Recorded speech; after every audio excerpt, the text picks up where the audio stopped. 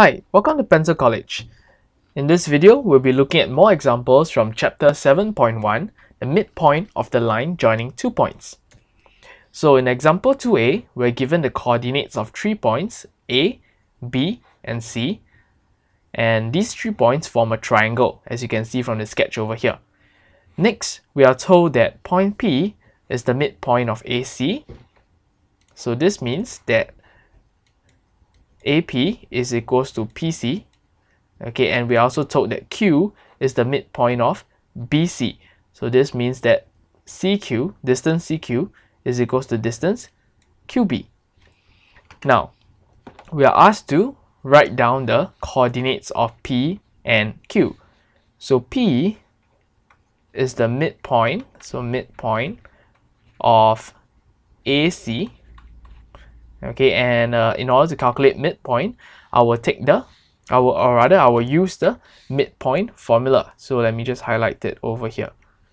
So this is the midpoint formula. Okay so midpoint formula says that I will take the x coordinate of A which is negative 2 plus the x coordinate of C which is 4 divided by 2 comma the y coordinate of A which is 7 plus the y coordinate of c, which is 9 divided by 2. Okay, and uh, pressing this into my calculator, I will just arrive at 1 comma 8. Now that, that wasn't too difficult, right? So let us move on to find coordinates of q. So similarly, we'll be making use of the midpoint formula. Now q is the midpoint of BC. Okay, so now we will take the x coordinate of B, which is 6, plus the x coordinate of c, which is 4, divided by 2, comma, the y coordinate of b, which is 1, plus the y coordinate of c, which is 9, divided by 2.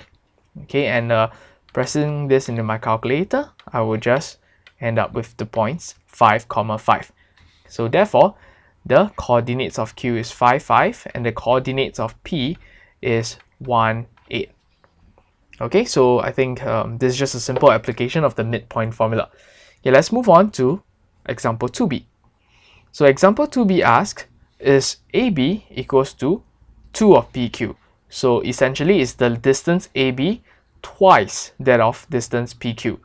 So in order to do this, okay, or rather in order to uh, to prove this, okay, we must first prove that triangle CPQ is similar okay to triangle CAB okay and this can be proved based on the angle angle angle property. Okay how, how are we going to prove this? Okay let me let me go ahead and prove this for you. So you can see that angle PCQ so angle PCQ is equals to angle ACB okay because of the same angle okay the same angle. Now previously we we were told that point P is the midpoint of point or rather is the midpoint of line AC therefore okay therefore we can say that okay sorry and rather and also point Q is the midpoint of line BC so therefore, we can say that these two angles are the same. Okay, so angle CPQ is equals to angle CAB. Okay. And therefore, we have just proven that based on the angle, angle, angle property, these two triangles are similar. Okay, now let's move on to look at the properties of similar triangle. So since these two triangles are similar, okay, let us write out the relationship between the two, triangles. So CP over CA should be equals to PQ over AB, okay, and this should also be equals to CQ over CB. Okay, so staring at this, okay, the next thing I want to do is to realize that I'll be making use of this portion and particularly this portion as well. Okay, so let me just highlight it for you. Okay, the next thing I want to realize is that since P is the midpoint of AC, then the ratio of CP is to CA should be exactly 1 is to 2, okay, since P is the midpoint. So therefore, this is just 1 over 2 equals to PQ over AB. Cross multiplying this equation, I will have AB equals to 2 PQ. Okay, and therefore the answer to this question is yes.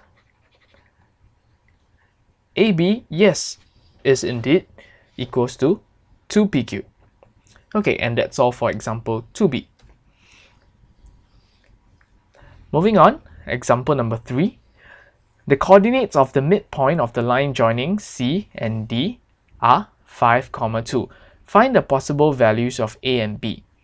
So in this example, we will also be using the making use of the midpoint formula highlighted in yellow over at the top left hand corner of your screen. So the coordinates, so, so the midpoint, so midpoint of CD can be calculated, can, can be calculated this way, which is the x coordinate of C plus the x coordinate of D over 2, comma, the y coordinate of C, which is A, divided, sorry, plus the y coordinate of B, D, sorry, over 2. Okay, and this is actually 5, 2, as given in the question. So this is actually 5 of 2. Now from here, I can break this up into two separate equations. So to make it more obvious to you, let me use a let me use a, a highlighter. So this portion is equals to 5 and uh, this portion over here is equals to 2 okay because the coordinates correspond accordingly Okay, so a square plus b square over 2 is equals to 5. And from here I can simplify. So a square plus b square is equals to 10. And over here, a plus b over 2 is equals to 2. Okay, so simplifying, I have a plus b equals to 4. And a equals to 4 minus b. Okay, substituting this, substituting this equation, okay, let's call this equation number 2 into equation number 1. So subbing 2 into 1, I will have 4 minus b square plus b square equals to 10. Again, we can simply simplify this using the using the special algebraic formula. So let me just uh, write it down for you, just in case you've forgotten. So a minus b square is equals to a square minus 2ab plus b square. Okay, so this is just this. Okay, simplifying, sim simplifying this even further. Okay, so 16 minus 10 is just uh, 6. Okay, and uh, b square minus 4b minus 3 is 0. Okay, let me just continue over here since I'm out of space. So I have B.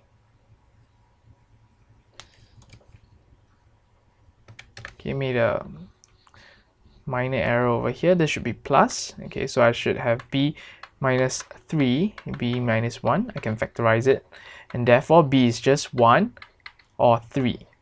Okay, and uh, using equation number 2 over here, I can find my values for A.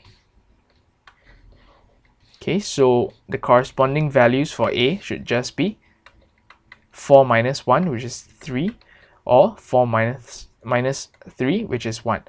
Okay, so therefore, A equals to 1, B equals to 3, or A equals to 3, B equals to 1. Okay, so you have two sets of solutions for this particular example.